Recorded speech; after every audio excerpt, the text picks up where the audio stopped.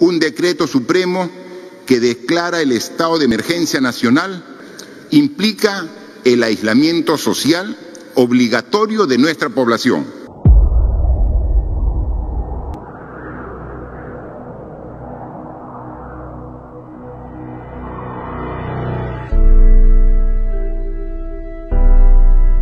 En estos días pasamos momentos difíciles por esta pandemia. Muchos de nuestros paisanos decidieron retornar a sus hogares de origen porque perdieron su trabajo y ya no cuentan con recursos económicos. El gobierno regional ya envió buses para los que emprendieron caminata.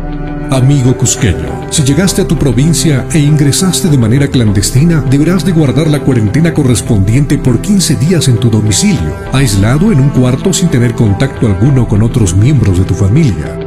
Caso contrario, serán denunciados penalmente y detenidos por la Policía Nacional del Perú y Fuerzas Armadas. Si usted es vecino y sabe de alguien que llegó clandestinamente a su vivienda y no cumple la cuarentena, denúncialo a las autoridades correspondientes. Si amas a tu familia, protégelos, todos unidos contra el coronavirus.